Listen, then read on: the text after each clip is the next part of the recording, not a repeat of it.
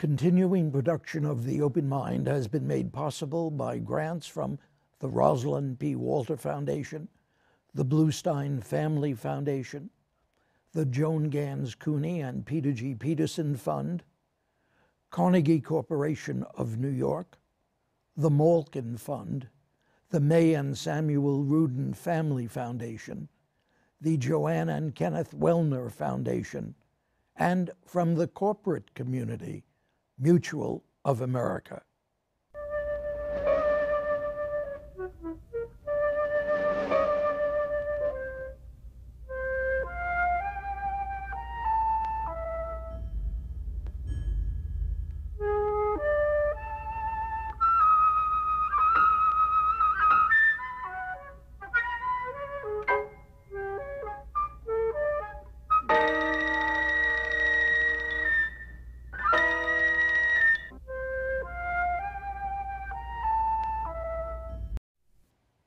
Richard Heffner, your host on The Open Mind. And my guest today is Ralph Gomory, a mathematics PhD from Princeton who taught there, then worked at IBM for 30 years, retiring as its senior vice president for science and technology in 1989, when he went on for some years to be president of the Alfred P. Sloan Foundation. Together with Richard Sylla, a colleague at New York University's Stern School of Business, my guest has now written a quite fascinating article in which they point out how from its earliest years America led the world in making the corporate form of business organization easily available to entrepreneurs with its long life, limited liability, and ever expanding opportunities for pooling the resources of many investors thus contributing greatly to our incredible economic growth as a nation.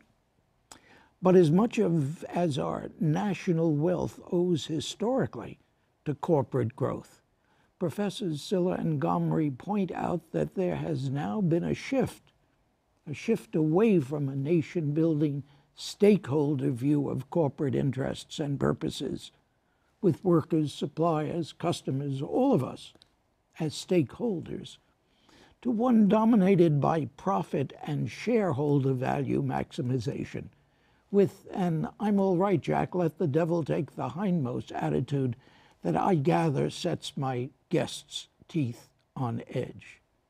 He and his colleagues write, quote, we strongly question whether this shift has been beneficial to the country as a whole.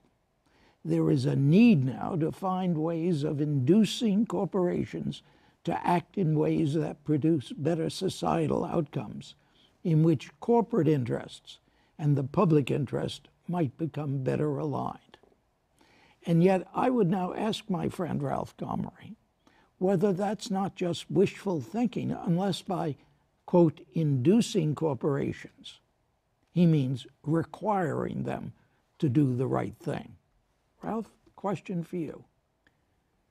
Well, this is not the first time in American history when corporations have sort of veered off a societally desirable path.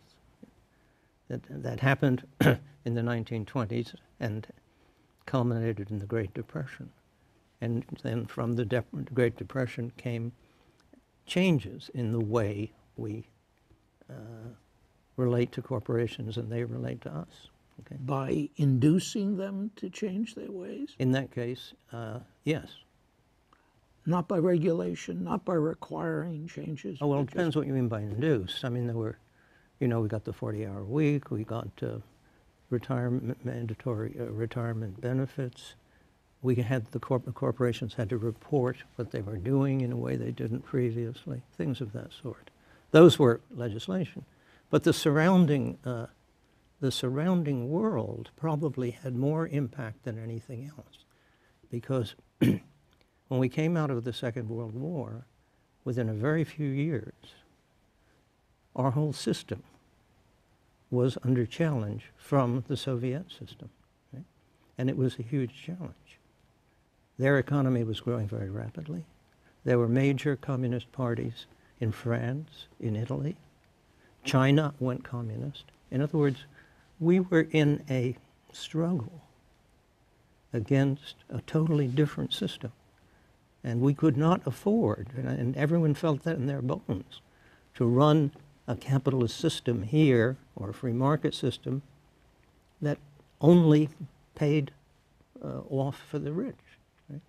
So we didn't. We ran a system here for 30 years in which everybody gained. I everybody is too extreme because it wasn't true for minor- certain minority groups. But as far as workers versus owners, it was. The share of the national income that went to the very wealthy was stable. And the share that went to the middle class was stable. Both went up together. They shared the gains of productivity. And in the end, this form defeated the communist threat. But there's one word that you're leaving out What's that? globalization. No, there wasn't. Yeah, at that time. Okay, but now there is. Well, globalization is just one more way that a company whose only purpose is profit uh, can go and find cheap workers. But now they do, and they do Yeah. with a vengeance. Yes.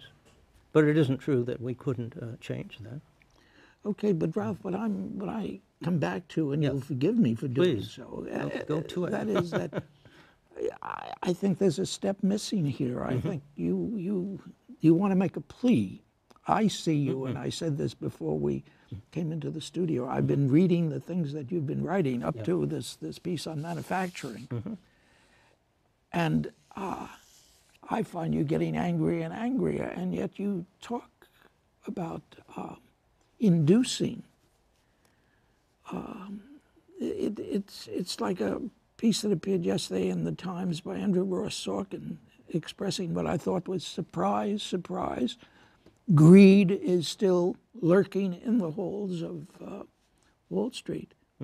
How do you induce these people now with globalization to go back to the good I, old I, days? I really don't think globalization is the heart of the matter. It's just a manifestation, a way in which corporations, which are dedicated to profit only, make a profit. It happens to be an unusually destructive way.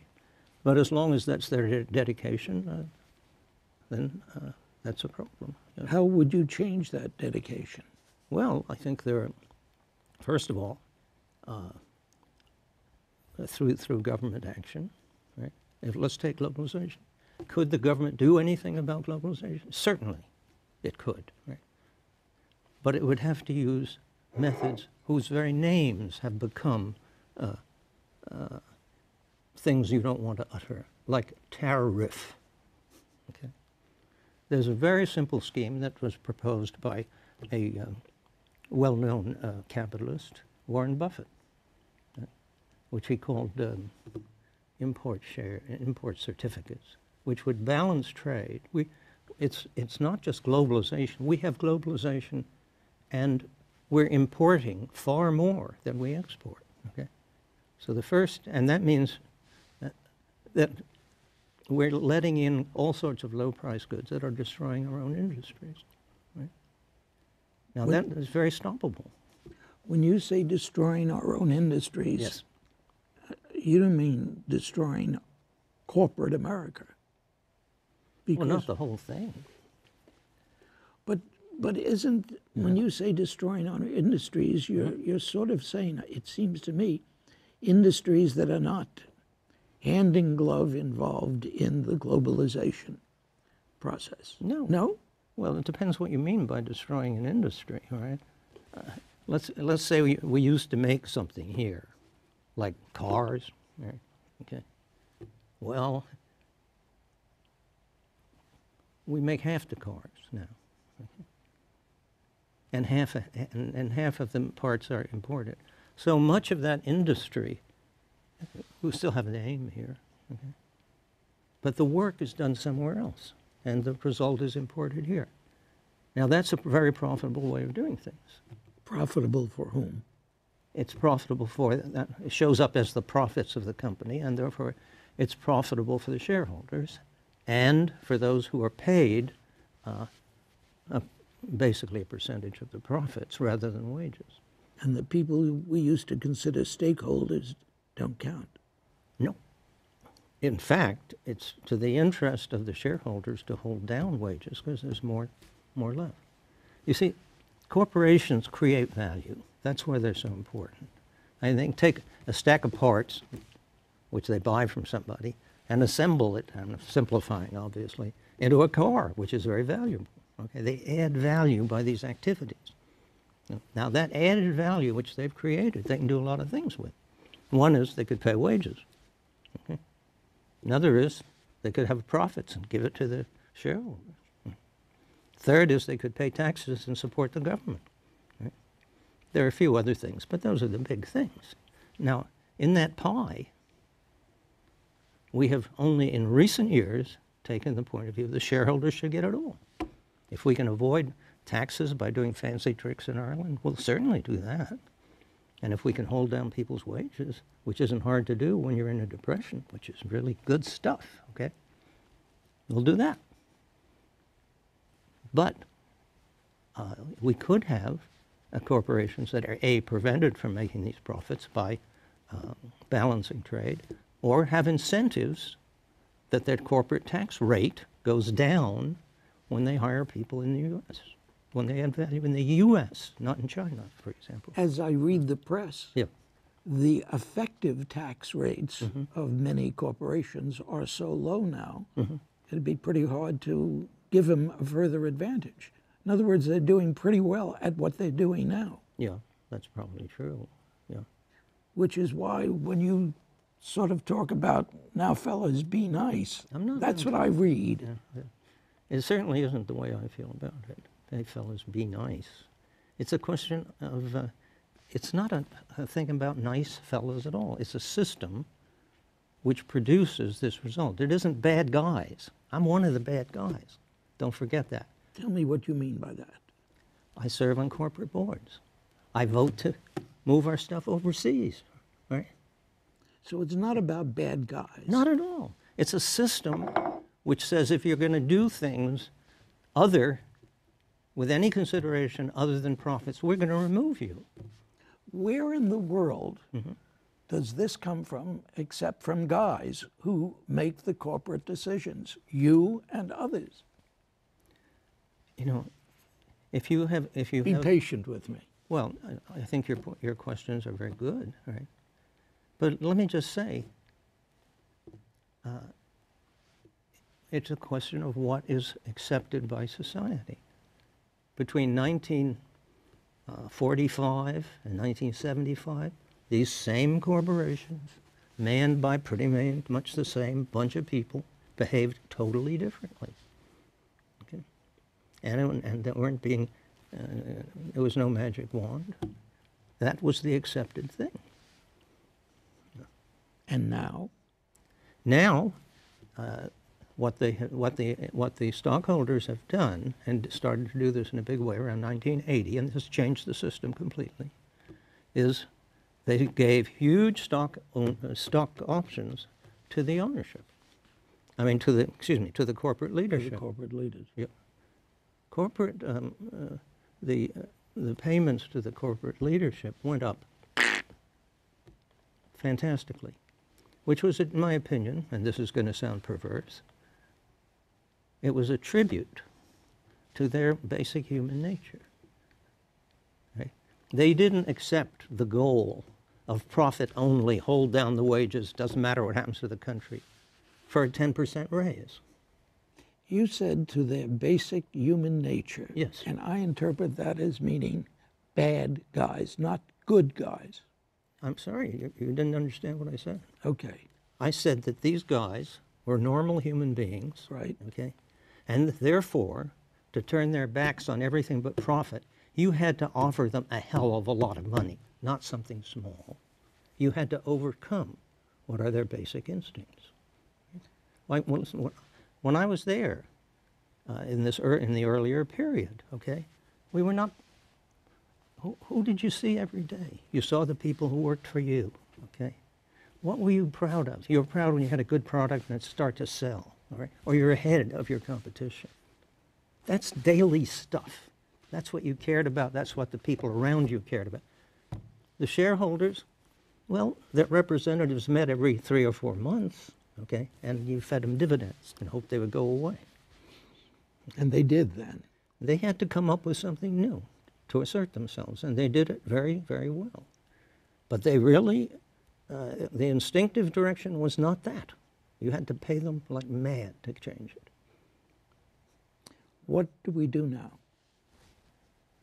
Well, I think there, there are a whole bunch of things. I think one is I would advocate, uh, uh, uh, and all of the above, okay? I would advocate something like Warren Buffett's scheme, just balancing trade. So i- i- one of the great fictions of the moment is that we're, we're negotiating free trade pacts. We're not. We're dealing with countries of which China is the best current example, which subsidize the hell out of uh, its industries. Okay, that's why this stuff is so cheap. It's so cheap that pours in here. It's cheaper than we can make it. It's cheaper than they can make it too, without subsidies and an, and an artificial exchange rate. Right? But they are gradually taking over these industries. Okay, not so gradually. Right? And it's very profitable right now for the corporations, and profits matter now in a way they didn't matter before to the corporate leadership because they become immensely rich. So, yeah. What do we do with this corporate uh, group that has become immensely rich and wants to hold on to its riches and has, through its riches, the power to control the um, the process that you want to go through of getting Yes. them to Now that, that's a, now you're making a very good point. If we if we can assume that the, the corporations have so much money, or and also certain individuals have so much money, that uh, they can control Congress and state governments, then you have to think of something else. Right? Have you thought of something else? Sure. What? There's no reason why other people cannot start corporations on a different line. Why do, why do banks have to be owned by these, uh, this kind of a bank? We would get better people to work for us because that's human nature to want to do something reasonable. And it had to be overcome by these huge amounts. There's still plenty of people who would, why not run corporations that would attract the best people to work for it and have reasonable goals? By the best people, you mean best in terms of the business of manufacturing? Whatever, the- whatever business they're in, yes, certainly, yeah. And they would be motivated. I mean, right now, you've got a very motivated uh, top crust in these corporations. The rest of the people are wondering, how the hell can I, you know, how can I make them- this goal they're setting for me? I'm tired, I want to go home. I think you can beat that. Anybody agree with you, Ralph? Yes. From the real world. Forgive me for saying that. I always cringe when people talk to me about about the the, real real world. world. I know. I'd like to challenge you, Richard. Which of us has spent more time in the real world? Right. Well, I'm older than you, so I have. You know, here on Earth, yes. but if you didn't spend 30 years with IBM, No, you're right. You were in the business. I was I not a director of many companies. I was elected one of America's best directors. And now you start to tell me that I don't understand anything about the real world. That's not what the real world has been telling me, But the real world now, is what it is now. And it was a different world 30 years ago. and what would you say made it different? What changed it? I think that um, stock options and the disappearance of the Soviet threat, those two things Right. changed it. And there's nothing inevitable about that sort of change. Stock op- options to the leaders of industry. That's right, just the leadership, yeah, right. Yeah. Right. I mean, we all, all, the, all the time when, when we have startups and stuff, they don't take that point of view. Everybody gets a part of it. Okay? They don't have, oh yeah, won't you come and work for me 60 hours a week and I'll give you as little as I can to get you? No. You don't do that with a startup because you want the heart and enthusiasm of those people.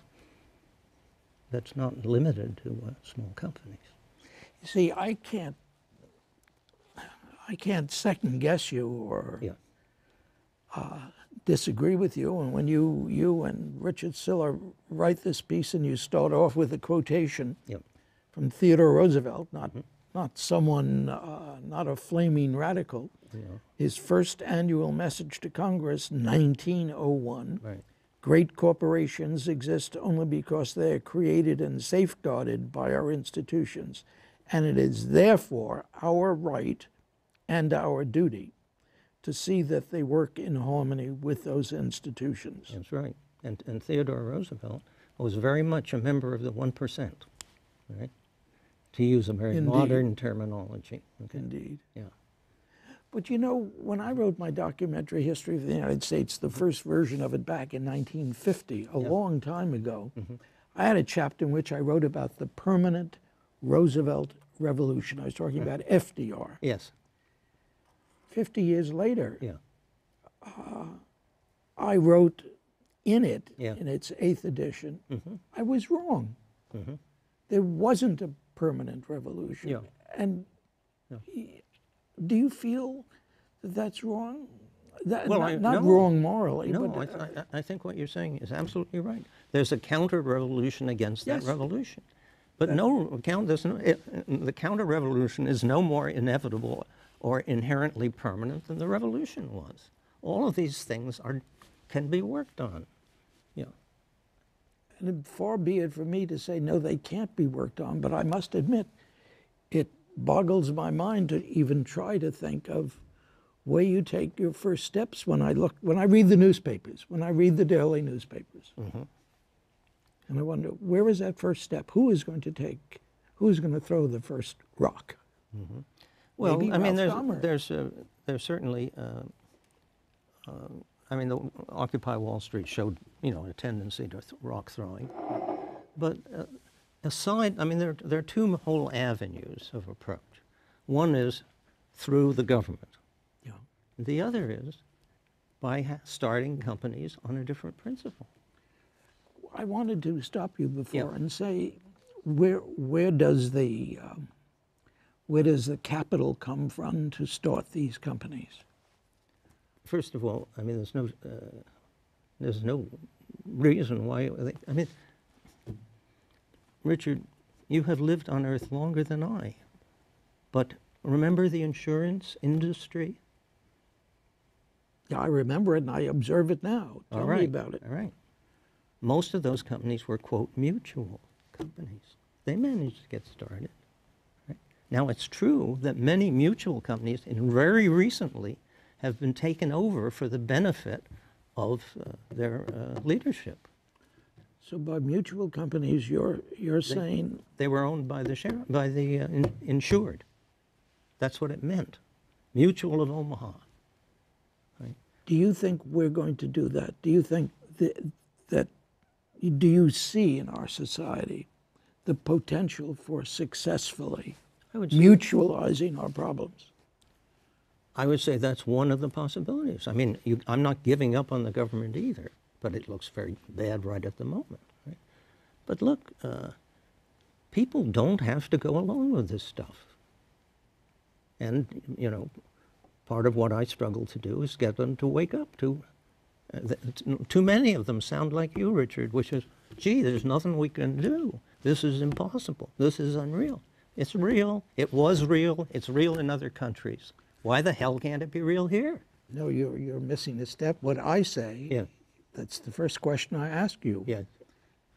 Weren't you sounding mm-hmm. as though this can be easily done No. when I'm saying, really, you're talking about a revolution of kind? Well, I just don't want to use the word revolution. No, you don't. Because it just means people go out in the street and throw rocks. I mean, you can have a revolution. We had a revolution in the 1980s, spurred by stock options. We had a revolution against the orientation of the companies, right? We could have another revolution by starting companies with a different orientation. It's because people like me commenting on what happened in the Roosevelt years said Yes. it's a permanent revolution. It's changed when it never did change. And those who were ready to turn around what FDR did were training themselves to do what they're doing now. Richard, how can you ignore the fact that that w- itself was a revolution? In the 1920s, we had the same kind of corporate behavior as we have now.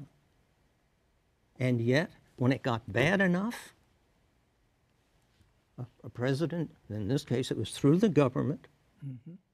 changed all that stuff, right?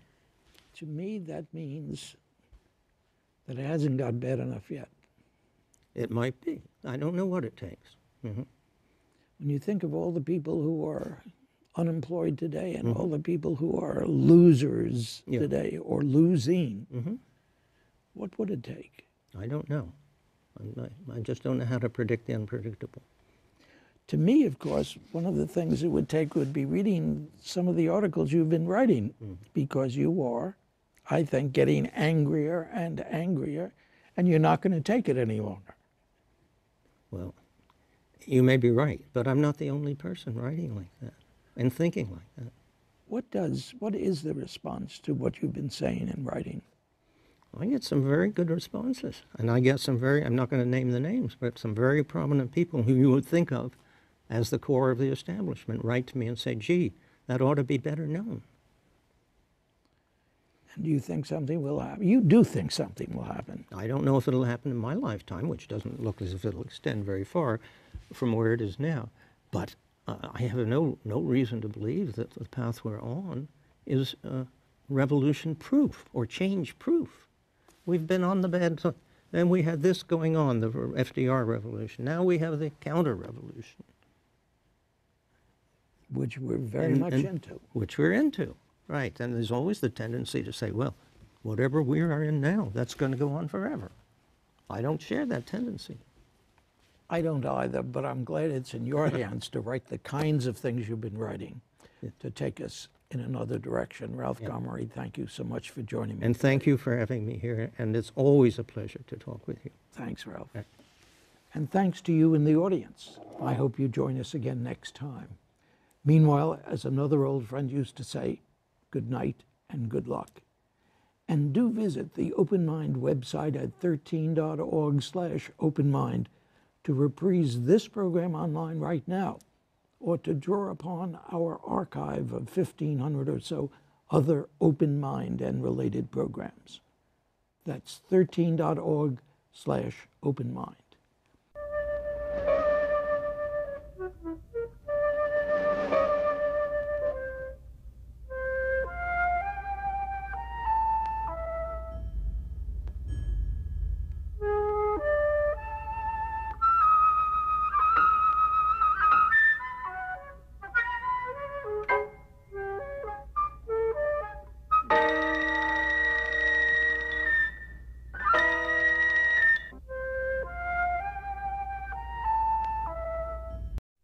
Continuing production of The Open Mind has been made possible by grants from the Rosalind P. Walter Foundation, the Bluestein Family Foundation, the Joan Ganz Cooney and Peter G. Peterson Fund, Carnegie Corporation of New York, the Malkin Fund, the May and Samuel Rudin Family Foundation, the Joanne and Kenneth Wellner Foundation, and from the corporate community, Mutual of America.